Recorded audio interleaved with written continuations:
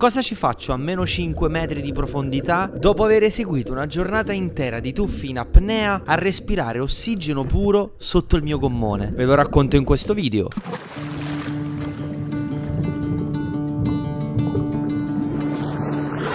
Ben ritrovati amici, siamo di nuovo qui su Fracassa per un'altra giornata di pesca con Alberto, mio mitico amico, grande. e il grande Edo. Buongiorno. Periodo di massima forma mia, ormai sono due o tre mesi costanti di tuffi in apnea, riesco a fare tuffi abbastanza lunghi, pescare a profondità comunque importanti. Avere uno stato di forma ottimale mi permette ancora più di fare le cose in sicurezza, ma c'è il rischio taravana, questo incidente che un po' è l'incubo di tutti gli apneisti, soprattutto pescatori che pescano profondi, come quello che ha avuto Luigi qualche mese fa. E quello è sempre un po' un grosso punto interrogativo e quindi bisogna stare molto molto attenti. Per questo già da un po' di anni faccio una roba che spesso non faccio vedere su, su YouTube. Sto parlando dell'ossigeno. Spesso io ho a bordo l'ossigeno puro, che è questa bombola qui. In realtà è pericolosissimo perché come molti di voi ben sapranno, l'ossigeno diventa diventa tossico già dai 15 metri di,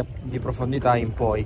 E quindi se si dovesse respirare ossigeno puro già a 15 metri bastano pochi minuti e diventa tossico, ci si spegne, ci si addormenta senza proprio rendersene conto. Quindi io la utilizzo non sempre ma spesso dopo, dopo quindi mai prima la utilizzo dopo giornate impegnative, dopo giornate in cui mi dedico a fare tuffi profondi a 5 metri di profondità a fine giornata per smaltire un po' di azoto e per recuperare bene e per essere sicuro di non avere strascichi nei, nei, giorni successivi di azoto, di microbolle eccetera respiro un po' di ossigeno puro. Quindi per questioni assolutamente di prevenzione e sicurezza. Altri usi sono pericolosissimi eh, quindi nulla, oggi andremo a pescare, ci faremo la nostra classica giornatina di pesca. Siamo in mezzo al mare, molto lontani dalla costa, su, su delle secche che risalgono dai 50-55 metri,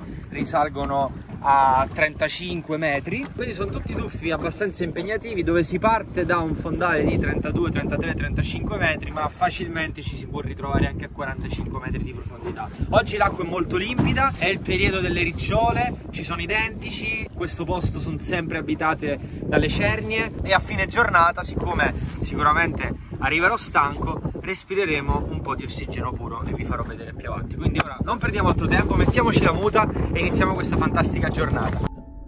Ed eccoci qui di nuovo sott'acqua. Qui sto scendendo su un fondale che se sarete stati attenti nei video precedenti lo avrete già visto, è una tana che conosco. Come potete vedere mi compare subito una bella cernia che punto eh, ci faccio diciamo un agguato, il pesce mm, non scoda subito, rimane comunque per un attimo curioso della mia presenza, non so perché perdo l'attimo, il pesce scoda e non lo vedo più.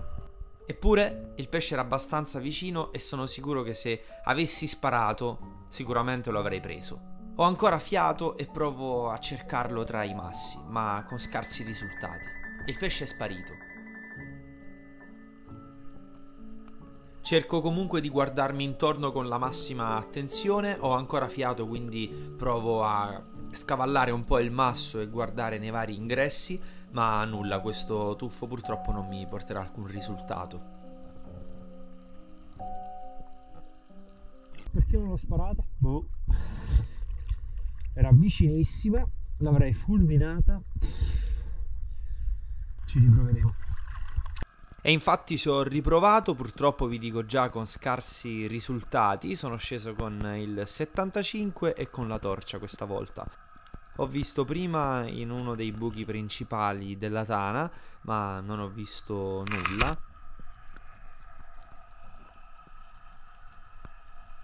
E poi, nel, sempre nella stessa apnea, sono andato a vedere nel punto in cui proprio l'ho vista sparire quest'altra diciamo piccola galleria sulla sabbia, fondale tipico e tana tipica delle cernie bianche, però nulla. Ah, dovevo sparare prima. E eh, vabbè, dai.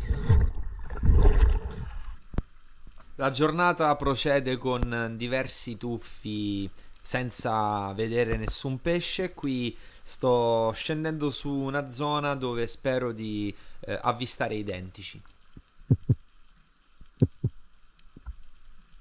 Infatti mi apposto, inizialmente non vedo nulla, ma dopo un po' in lontananza inizio ad intravedere delle sagome. Sono identici, mi sembrano anche di pezzatura importante. Si tengono però molto molto larghi, quasi proprio al limite della visibilità.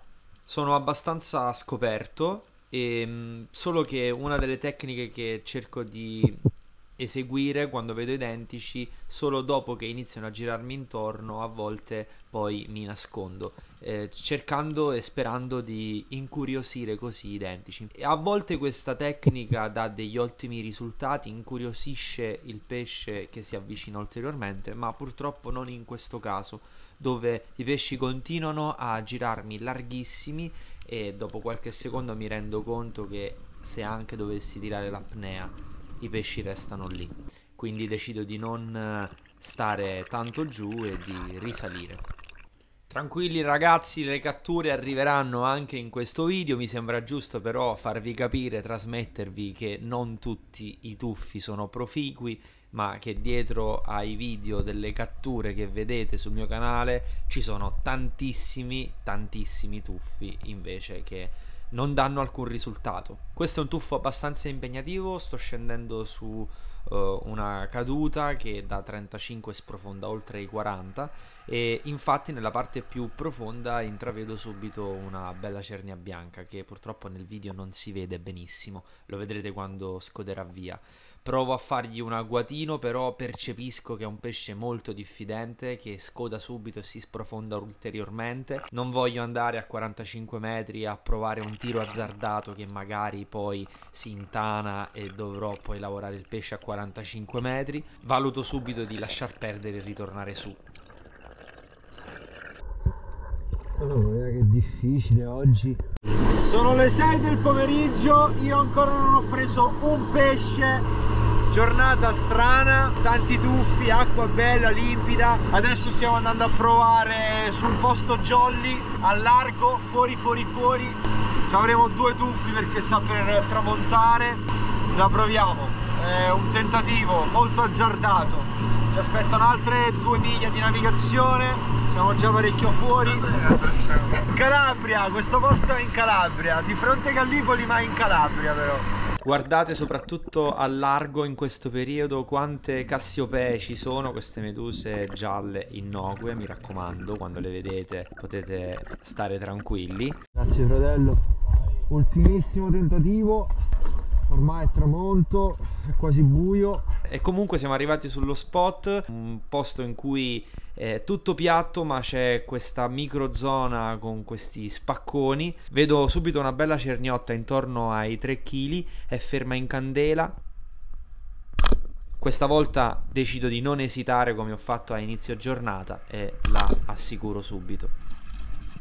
Questo tuffo è stato eseguito sul filo dei 40 metri.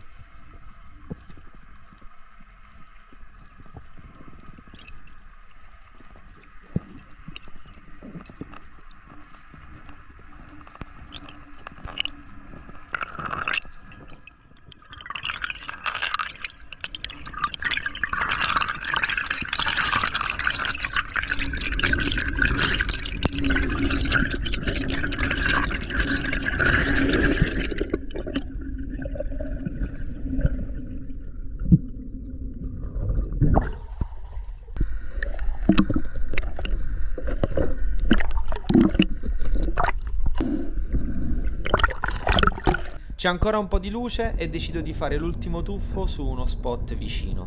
Guardate che bei colori rossi che ci sono sott'acqua, ovviamente questi non sono i colori che vedo io, questa è la color correction, senza, guardate come si vede,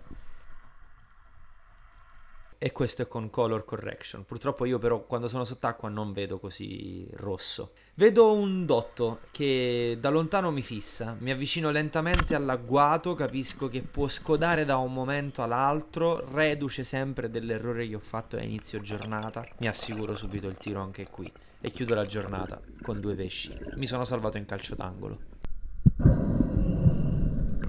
Come vi dicevo a inizio video, ecco è arrivato il momento di respirare un po' di ossigeno. Mi raccomando, vi ribadisco, è assolutamente pericoloso, non dovete assolutamente imitare queste cose. Eh, mi date voi un countdown di 5 minuti. Vi posso assicurare che dietro questi gesti che potrebbero sembrare pericolosi c'è davvero tanta esperienza, c'è tutta la mia vita che eh, ho dedicato a questa mia passione. Sono in questo ambiente praticamente da quando ero bambino, sono seguito da medici iperbarici, da scienziati, da ricercatori. Le cose che faccio sono ovviamente guidate, consigliate tramite medici iperbarici. È assolutamente pericoloso e rischiosissimo imitarmi. Io queste cose ve le faccio vedere perché ho deciso di raccontarvi tutto, il mare è la mia vita, voglio voglio portarvi con me in tutte le mie esperienze, però dovete assolutamente fare attenzione e non imitare. Grazie mille ragazzi per aver visto anche questo video, per il vostro supporto, lasciate un commento se vi fa piacere, iscrivetevi al canale, è il modo migliore per supportarmi e noi ci vediamo prestissimo per un altro video.